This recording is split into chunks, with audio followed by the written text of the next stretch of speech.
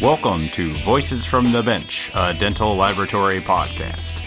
Send us an email at info at voicesfromthebench.com or look for us on Facebook at Voices from the Bench.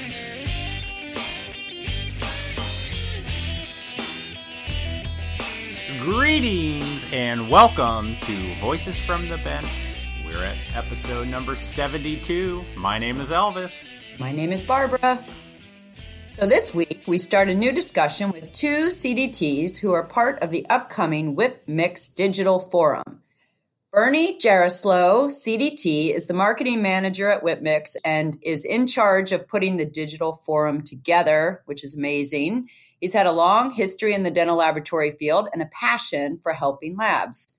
He also, I think, has the lowest voice in all of dentistry. I'm thinking about actually starting a barbershop quartet and asking Bernie to be my baritone. I think that would go over real well with Sing About Teeth. I think you should. You know, once you start it, you're going to be successful if it has anything to do with people uh, listen to because you are uh, very smart. I know my wife really wants me to find another hobby to do. yeah, I'm sure. Bernie talks about his past, what he does at WhipMix, and the state of the Digital Dental Forum that is starting its eighth year. Well done, Bernie.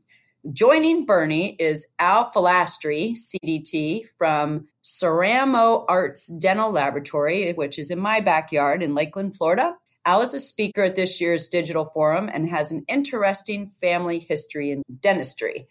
They both talk about the Digital Forum, why it started, and why Al went the very first year.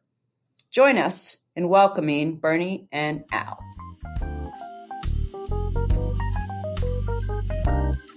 We'd like to introduce our listeners to Crystal Ultra Fixed Hybrid Dentures by Digital Dental. Crystal Ultra is an advanced nanoceramic material used to create final restorations that are the closest alternative to natural teeth. Period. If you haven't tried Crystal Ultra Hybrid Fixed Denture in your lab, you need to right now. Crystal Ultra full arches are 60% lighter than zirconia arches and six times stronger than traditional acrylic teeth denture setups. Crystal Ultra is also absolutely gorgeous with incredible optical qualities. Gorgeous, strong, and functional, Crystal Ultra is rapidly becoming the material of choice for full arch dentistry. Digital Dental makes it super easy to get started with Crystal Ultra immediately like on your very next case. Just visit them at www.crystalultra.com slash voices to request a sample arch and to get a discount on your first case. Digital Dental offers complete outsourced Crystal Ultra lab services and, as the only US based manufacturer of advanced dental milling machines, Digital Dental can also provide full in lab solutions for your lab featuring the revolutionary new DM5 XT Ultra wet dry milling machine. With over a thousand successful cases to date, Crystal Ultra is the fastest growing material solution in full arch dentistry and is taking the market by storm. Crystal Ultra, feel the difference.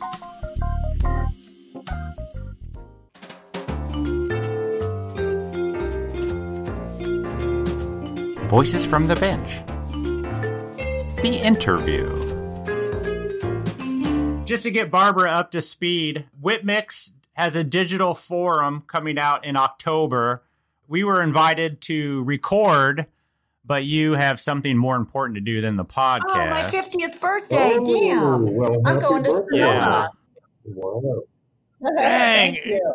you're yeah, you're a mere child. I, I, like to think of myself that way. Thank you, appreciate it. I'm jealous. Yep. yes. So Barb's going on an epic trip for her 30th birthday and won't be able to join us. We wanted to bring Bernie on, and Bernie had one of the guests, Al. How do you say your last name? Fillastre. Fillastre. I'm still going to yeah, mess nobody, nobody gets it right. I do. I do. yeah. What about you, oh, Bernie? No, Bernie no, no. Jarlaslo. Oh, Jesus, Elvis. He butchers names. Right, so what is it? What is it? It's pretty simple. It's Jaroslow. Jaroslow. Jaroslow. Yep, that's it. Barb. Jaroslow. Yeah, you'll do these. yes, I'll say it. And you guys are both with Whipmix. So when I introduce you, you're both with Whipmix. Well, I have my own lab. I just do uh, some programs and some, you know, R and D, and cons- you know, I, I do stuff with Whipmix, but I have my own lab in Lakeland. Uh, but you're representing Small lab. in this podcast. Are you representing Whipmix Yeah. or are you representing? I think I'm representing a, a participant of the, of the digital forum. Okay, awesome. Let's get rolling. I'm going to get it started, then you're going to say the names. Yes. I know, I know, I know. It's Jaroslow. Yes, perfect, Jaroslow. Barbara. Yeah, thanks. Okay. Awesome. All so right. we're excited because come early October, Whip Mix is putting on a digital forum that they're now doing for their eighth year. Am I correct? That is correct. Yeah, that is awesome. And we have with us a gentleman from Whip Mix, the marketing manager, Bernie. I'm going to let Barb say his last name. Welcome, Bernie Jaroslow. Perfect. Thank you, Barbara. We know we all know on our uh, podcast that Elvis likes to butcher names, so I'll chime in on the names for uh, this episode. And also, Go for it. and also we have Al Fillastre, Good job. who runs a lab in Lakeland, Florida. Is that what you said? Correct. Absolutely. Yes. And will be a participant in this event. So welcome, gentlemen. Thank you very much. Thank you. So both of you guys are CDTs, correct? We are. Yes. Awesome. Yay. I always like to point out when people that represent a vendor employ CDTs because I think it's a huge thing. Um, I think it's important. Me too. In fact, this is my 40th year as a CDT. Wow, Congratulations. Thank that's you. huge. Yeah, That's huge. is huge. So, gentlemen, thank you for joining us, and we're going to get into exactly what the Digital Whip Mix Digital Forum is, and we're going to talk about the event and everything. But first, I kind of want to hear from you, Bernie. hmm What do you do at Whip Mix, and how did you end up there? Okay, I am the marketing manager at Whip Mix, and what I do is provide most of the content, and I also manage the webinars and you know all the uh, ebooks and and white papers and all of the things that we publish, uh, including our our uh, ads and and all of that. So basically, I I write most of our copy, and uh, you know I was going to say, basically, you do everything. yeah, yeah, that's that's what uh, I tell my boss all the time. But yeah, uh, and I do. I provide most of the content and uh, you know all the marketing stuff basically. So that's what I do here. And I Awesome. came here eight and a half years ago from uh, Vita. I worked for Vita Oh, yeah. uh, for, geez, I think 12 years. And before that, I worked for Pentron, uh, Jeneric Pentron. And I started um, when I was a kid, uh, literally, I think around 10 years old, maybe. Me too. I, I basically was one of those guys that was brought up in my dad's lab. And uh, I, I started, you know, delivering cases, uh, cleaning denture flasks, and, and getting lunches for everyone back when I was around 10 or so, and did that for a lot of summers, and eventually, of course, went away to college and got a degree in, in education, and then came back to the lab and decided that was really more up my alley, I think. So, so I went away uh, to get a degree in, in uh, dental technology, which I did from what was at the time Palm Beach Junior College in Florida. Wow. Yeah, graduated in 76 Amazing. from there. Joined my dad. We built up a, a pretty good sized lab for the time. We had about 55 or 58 people. That's a big lab. And then he sold the lab. Yeah, and he sold the lab um, to National Dentex at the time. And I went on to become the director of education for the Ney company. Oh, yeah. remembers the Ney company, but yeah, You're bringing up some old Yeah. names, Bernie. that's an old, an old guy bringing up old names. Imagine that. Yep. Uh, but it's true. So I worked for Ney for several years, and then I became, I went over to uh, Sterngold, and I was education director there. And then from there to uh, Pentron, as, and then, as I said, to Vita, and here I am at, at Whip Mix. So yeah, kind of a interesting, interesting uh, life in dental technology, we'll say. I'm always surprised um, when we do these podcasts how many of the people that we interview um, are little lab rats like myself who grew up in their father or their in law's laboratory and just fell in love with it. So that's a great story, Absolutely. especially um, that you're a Florida boy too. So thank you. yeah. You're welcome. And I know uh, Al has also a familial tie to dental technology, and I bet there's people who will be listening to this that might even know that tie. So, so let's segue to Al. Let, let us know all about your story. Man, uh, it's kind of a long story in, in, in a way, um, but uh, let me just start. I mean, when I was, my dad was a dentist, as was his dad, his dad, oh, and his dad. no just kidding. let me tell you what. I mean, it's definitely some kind of, uh, of dysfunctional um, family, I think, you know, to, to, have five generations of dentists. I mean, let's face it, you know, this industry, you got to be a little bit crazy to like it. Oh yeah. yeah. Yes, you do. Um, oh you yeah. can put me in that corner. Thank you. Yes, you got to be a little bit out there. So, you know, growing up, you know, my dentist was my dad, so I never really paid much attention to dentistry. And exactly. And always kind of in the back of my mind, you know, I knew about the family history.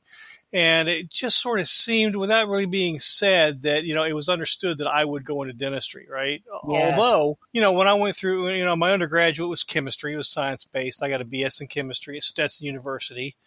And, you know, from there, I just took off, went to the city because I'm from a little town, Lake is a little town. And you know, I mean, with my cap and gown, you know, streaming out the window of my car, I was off to Atlanta. Man, graduate, let's go, let's go. You know, let's have some fun, let's kick back. Yeah. And I, so chose Atlanta.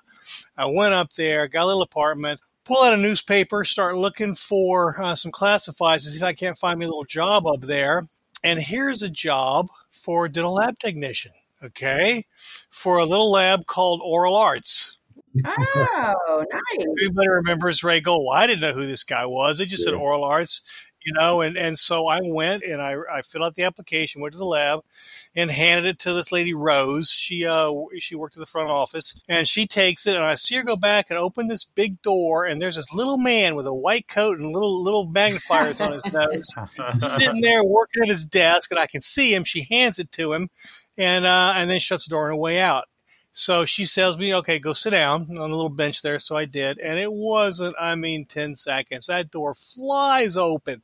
And Ray Gold, who I didn't know that's who it was, comes running towards me. I mean, like almost scary, like, what the heck?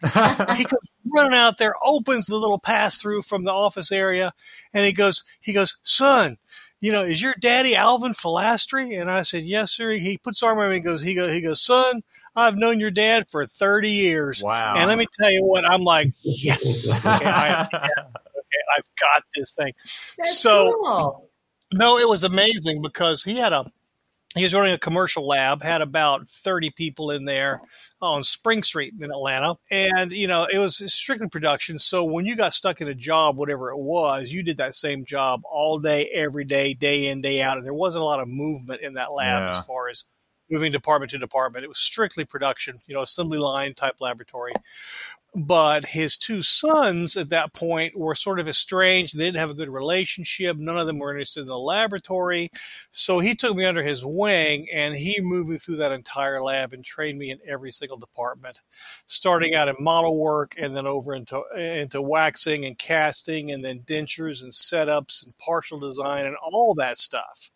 And so I was awesome. there, yeah, I was there about two years. And that's when I realized that, man, I really like this. I had really never paid a lot of attention to it, you know, and in fact, liked it so much that I thought, man, I want more of this. And I, and I had the, the, the right undergraduate degree to apply for dental school, which, you know, mm. I did after a couple years there. Ended up getting accepted at Georgetown and at uh, University of Florida. So we went to Florida because it was a heck of a lot cheaper, and oh, yeah. high school, and right? Cooler. Right. You know, and, and, you know, and, and here in Florida, which I kind of liked, and but as I went through dental school, got in a clinic, you know, and started getting, you know, closer, getting, getting towards the end of the program, I realized that I didn't like it. I mean, I didn't like it. I didn't like it at all, man. I was like, man, I, I you know, I, I, I, like, I, I like being at the bench. I, I, like that. I like that stuff. I really didn't. and so I ended up not pursuing a career in dentistry. When I left uh, University of Florida Dental School, I, I, what I want to do is open my own lab. And so while I was in dental school, I got to tell you, you know, it was it was a lot of fun uh, doing all the lab work for all the upperclassmen because I could pretty much ask for anything for a gold crown. You know, oh was, yeah, was, yep. Oh yeah. So that led to me um, ultimately going in after after I left dental school. I spent some time in my in my dad's office as his personal technician, and and who was there? My mother Oh. worked there. She was a ceramist. She was very uh, very very talented, and, and ended up you know well known. Traveled the world lecturing with him, and uh, my sister was a hygienist. And I'm telling you, eh, no, no, eh, we definitely have mental issues, you know, in my family. For sure. You know, but oh, yeah. so my sister's a hygienist. My mom was a ceramist. My dad was a dentist, fourth generation. I, I, I would have been fifth generation dentist, but but ended up going into the lab uh, instead. And then uh, when he retired, um, I just took over the lab. Uh, the day came when I had to fire my mom. Oh. Seriously, that's a story right there. Yeah, okay. And oh no, that was like, trust me, that was not fun. Uh, but it, it was either I'm sure. her or me, right? It was like, I, you know, it was just, Gee. yeah, yeah, we just butted Yeah. heads a lot. So the day came where I How do you go about? Let me ask you a question. How do you go about firing? Your let me tell you what, we, we got into it over. You, on, yeah, you got to go back. Well, there. I wanted to computerize. I wanted I wanted to go into the future. I wanted to really start doing things in the lab, and this was back in the infancy of all that. And you know, I got involved in in, in writing software with a, with a, with a, a programmer to run dental labs and, and do that kind of stuff. And you know, in fact, started a company on the side way back then. This was probably late '80s, early '90s. Really? Okay. Wow. Yeah, and so the, if I, you know, and, and she was resistant to that. She liked kind of status quo, keep it small, keep it simple, and we just butted heads on that whole philosophy of how I wanted to run the lab. And the day came, I said, "Look, okay, you know, I can't take this. One of us has to go." And without saying a word, she took her loupes off. She put her handpiece Whoa. down. She got up, took her white coat off, and she walked out of the building. And I did not talk to her for three months. Aw. Oh yeah, no. Let me let me tell you, whoa! And then it was it was it was kind of awful, and I was not expecting that. Hell, I mean, I wasn't ready to take over the lab, and boom! It just Oh. you know, I, you know, one day from one day I'm a, I'm a waxer, next day I'm running a laboratory. Okay, and it's like hmm. whoa. But you know, a few months later, one day she drives up and she comes walking in, and she comes right over to me. She goes, um, "Oh, you an apology? You're absolutely right." and um, you know, and from that day forward, where you know everything was everything was cool, and the rest is history. It just kind of evolved from there. But you have somebody else start your car for you every day? So, Elvis made a joke. I like it. That is funny. so anyway, you know, and and uh, my dad lectured a lot. He he he went around the world, and, and he just had the gift of gab. You know, he was kind of a gadget master. He invented a lot of different little gadgets, and I kind of got that from him, I think. And and uh, I got some opportunities really through his connections. First with Williams Gold back then. Y'all remember Williams and, and Vic Williams Yeah. and and Kevin Dillon and those guys. Okay. And my mom, we developed some products for them. I got to know them. They were aware what we were doing. We were we, we were we were small, but but very um, a progressive dental lab. And of course, working at the office of my dad, who was a well-known dentist, and it just offered opportunities which I was lucky enough to be able to take advantage of. And it sort of morphed into, you know, working with companies. Whip Mix now, I'm, I'm involved with them, but but always having the opportunity to, to to you know talk about what we do, share what we do, work with companies, do some R and D, that kind of stuff, along with working, you know, in the lab. stuff. Yeah, it's nice. Oh, No, a little diversion. So, so I. I guess that's pretty much it for me. Well, thank you. That's That's story. a great story. Yeah. Again, another family story. Yes. And um, I just wanted to make it clear to our listeners that I don't dislike dentists. Um, you know, I rag on them a little bit just because they're a little quirky and they're a little this, but um, I, I, I can't do what I do without Dennis. So, you know, my comments don't misconstrue. I just think laboratory technicians are amazing. hmm Yeah, Al, out of your whole family, are you the happiest because you're in the lab and the rest of them are clinical? Yeah, I would have to say affirmative on that Yeah. one. Oh, absolutely. Without a doubt. Oh yeah, you know, I, I, I second guess myself once in a while. You know, gee, well, well what if I'd have gone ahead and, and pursued, you know, a dental practice?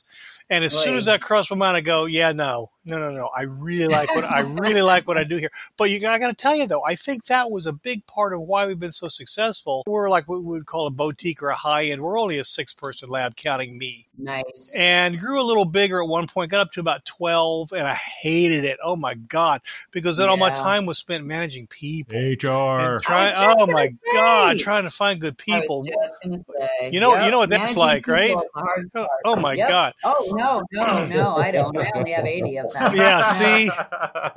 so natural attrition, right? People would leave, and and and we realized we really need to replace them. We were, you know, we were getting better at what we did, and we were able to, you know, manage the load. So so profitability got better, you know, personally, and and we sort of kind of attrition went down to, to six of us, and now that was right now. Okay, Olivia's been there twenty seven years, Roxy twenty three wow. years, Jamie, wow. she, she's the baby. She's been there fifteen years.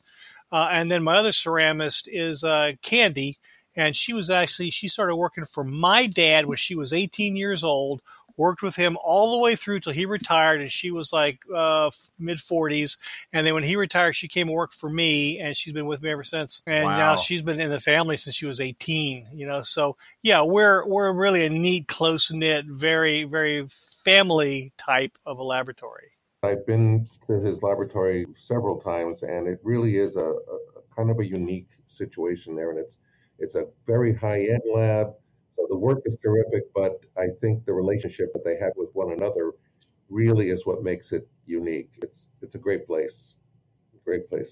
I think that's the um, the cohesiveness of the team and leadership, and um, having long term employees like that, which I have a, a, a, lot of folks that have been here for 25 mm-hmm, plus years. Mm-hmm. You know, it just shows that um, you're you're in it to win it, and you like what you do, and you take care of your people, and they're loyal to you. Got that right. Same as your client, you mm-hmm. know. So love that. Thank you. So Al, how much of your lab is digital? I mean, here you are speaking at the digital forum you must be representing the digital workflow. Hey, I got to tell you something, Elvis. I didn't know this at the time. We, we went digital about five or six years ago. Mm-hmm. And, you know, at the time, I was forced into it. You know, it's the way the industry was going. Sure. And, and, I resisted.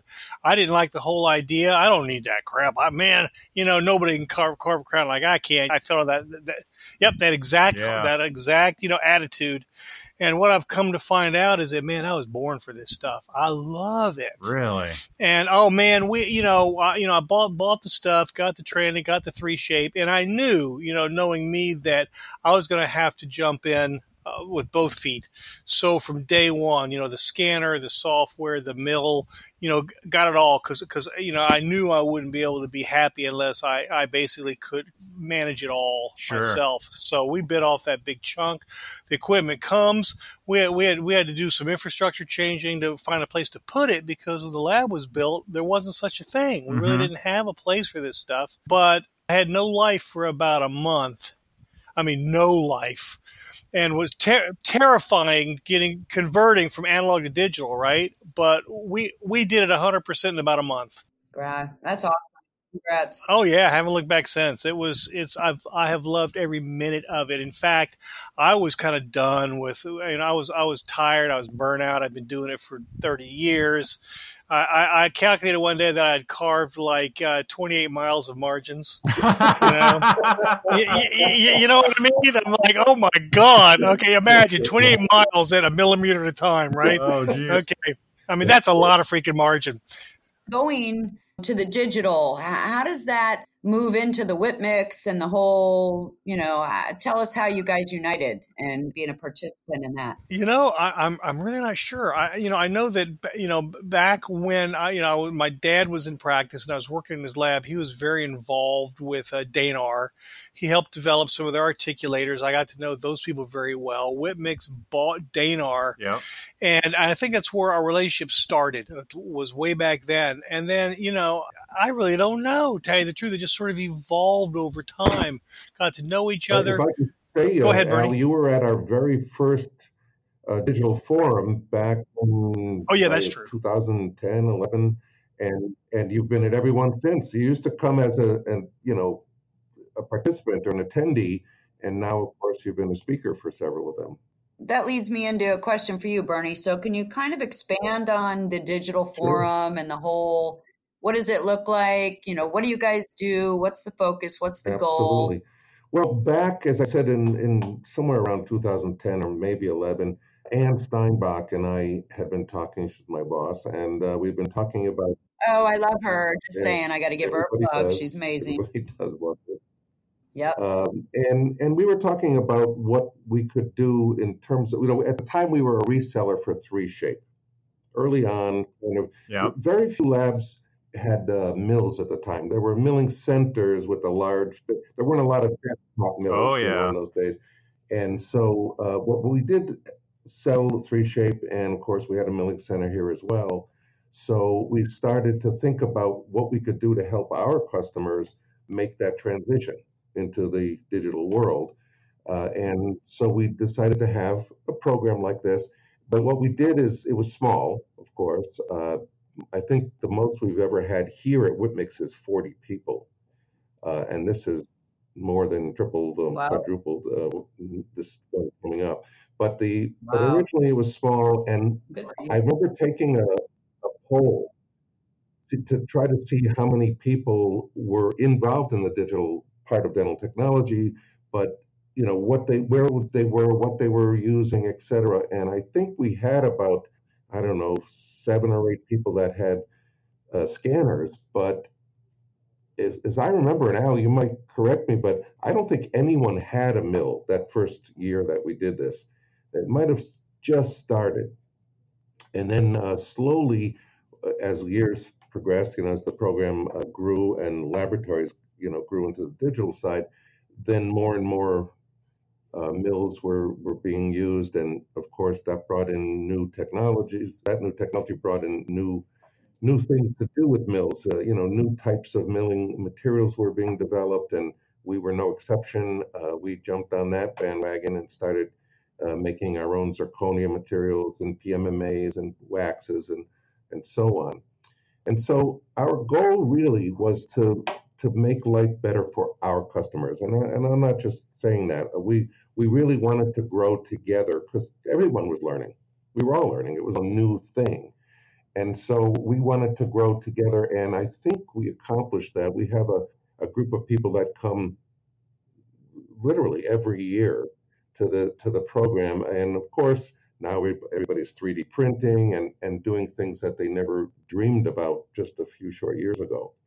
So that was our goal, and I think we've met that. Now, what we're trying to do is to grow it so that we give our attendees more opportunities. Uh, we we we don't just show Whip Mix products. We're not, you know, it's not. Yes, of course, we sell product as a result of of using the products and showing them, demonstrating things, but it's not really the objective. Uh, our objective was to have uh, not even a really a, a profit center, but but to have a, a an opportunity, an educational opportunity for our customers. And that's genuine, and I think we, we do do that. I think Al would agree. I hope he would. Where do you hold it at? We've we've held it for the last seven years at Whip Mix, but uh, the, the Okay. most I think the largest group we could have is 40 because we only had one room that really accommodated that uh, you know that type of program in, and uh, 40 was it was the maximum. So this last year we just got sick and tired of turning people away. You know, we had waiting lists that were longer than our attendee list, and and it became it was good. It was wonderful. So my assistant and I, Rita Davis, uh, we decided we would we would look into a, a much bigger venue, and so we went to approached a few hotels around us, and we found one that was perfect, really perfect for for what we uh, want to do. And I started the phone calls almost a year ago, and we put together what I think is our best program by far with fantastic speakers, people demonstrating live, people uh, speaking, you know, with slides, and we also have a number of vendors, which is the first time we've done that. We've we brought in a Mm. bunch of companies as exhibitors, and that that helps to to make it even a better program. So, you know, again, while it's not our we're not doing this to, to make a profit center, but we, we want to make sure we can do it to the fullest and make sure everybody gets the best uh, experience out of it. And I think we put together a pretty good program. I'll, if you'd like, I can tell you some of the speakers and and their some of their topics. Absolutely. Okay, You got some big names at this thing. Yeah. It's it's some yeah, really some cool really, people. really yeah. good ones. Um, well, we've got Ed McLaren, Dr. McLaren. Thanks to Bernie and Al for joining us to talk about their careers. Join us next week as we learn more about the Whip/Mix Digital Forum being held in Louisville, Kentucky. Louisville. Lou- Louisville. Louisville. It's not Louis, it's Lil. Louisville. Being, he- being held in Louisville, there you go.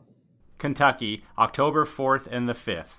Check out the link on this episode's show notes to register, but don't wait until next week. Spots are going fast, and this event might even be full by next week's episode. Now, just remember, one half of Voices from the Bench will be there to record some of the speakers and the attendees. So look for our booth, stop by, say hi, sit down, be on the podcast. We'd love to talk to you. We are coming down to the final weeks before the Race to the Future 6.0 on August 25th.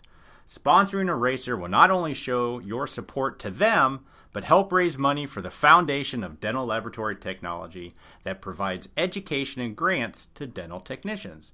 Check out the link to donate on this episode's show notes. Remember to sponsor either Barbara Wodjan or Team Voices from the Bench. Yay! Good luck, team voices from the bench. training up for the triathlon, I went for some speed this morning and I did six and a half miles at a 718 pace. Wow. Yeah, I was pretty happy. Six miles at that pace? Normally I do Yeah. fartleks and I'll go fast and then go slow, but that's pretty amazing. Holy It's moly. It's been a long time that I've been able to do that. My fastest mile when I'm racing is like a 725. So that blows me away. But you're about what, six feet, all legs? I remember when I went running with you and you about killed me.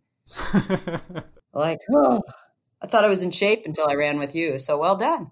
I uh, actually am training. So last night I did three quarters of a mile swim and then I did a six mile run. And the day before that, I, I did a 15 mile bike and a three mile runs. I'm trying to mix it all in. So I'm working out twice a day now. I'm not working out twice a day, but I'm doing two of the either running, swimming, or biking events during my workout, which let me tell you, I'm tired Every day? every day. Yeah, because we only have two weeks left. I know, it's coming up. running a little late and I'm I'm worried. So I'm now I'm doubling up. So hopefully I uh, I'll make it. You'll be fine. Did it to win it. I'm not very competitive at all. Not at all. Just make sure you donate all the money to our team, not Barb. Hey, by the way, thank you to all of our podcast listeners or whoever has donated to me. I'm almost up to five thousand dollars that I've raised so far. So I just want to say thank you. A really good year. So yeah, I um, I'm I'm very appreciative, and I want to make sure I do really well in the race. So, cheers. How'd you find out? I haven't got a list of who's donated. Oh? I'm like I'm slightly competitive, so they Yeah. email every time I get a donation. yeah, and we raised three hundred dollars at Night Dental. Thank you to my Night Dental family. So yeah, it's been it's been fun. I really enjoy this event, and I enjoy raising money for the foundation. So, and I want to kick Sean Nowak's, you know what? So he's extremely competitive, and I don't know where he is, but I'm hoping to beat him again this year. Maybe not again this year. He beat me last year, so. I'm coming back with vengeance, Sean, and I know you're listening. Well, he's on my team, Yeah. so collectively you have to beat all of us. No, Not I just just Sean. collectively have to beat Sean. Okay. I can't beat three people, but I'm going after him. Nice. Listens to our podcast, so he's probably smiling right now. Yes, I'm sure that he is. I plan to not break my collarbone between now and the race. That's my goal. I couldn't do it two years ago, but I'll do it now. Well, I'm just saying, if you raced a seven, what did you say, 18, 7, 13 mile this morning, you're going to kill the race because you're going to save all that time in the run. I'm looking for you guys to place first in the relay, and we'll let you know when the race is over how we do. So I think you guys are going to do really well. That's the only positive thing I'm going to say to you, though. Good luck raising money. all All right, let's get back to business. We want to thank Digital Dental for being the newest sponsor of the podcast. We are always excited to team up with the company that is behind the success of the dental laboratory industry. We actually interviewed them about a month and a half ago, and we'll be releasing that interview in the next few weeks. So check them out. They make some pretty awesome mills, and the Crystal Ultra is looking like a game changer. See a link on this episode's show notes. Thanks for your support of the podcast, Digital Dental. All right, everybody, that's all we got. We'll talk to you next week. Have a good week. Good luck, Sean. Bye. Bye.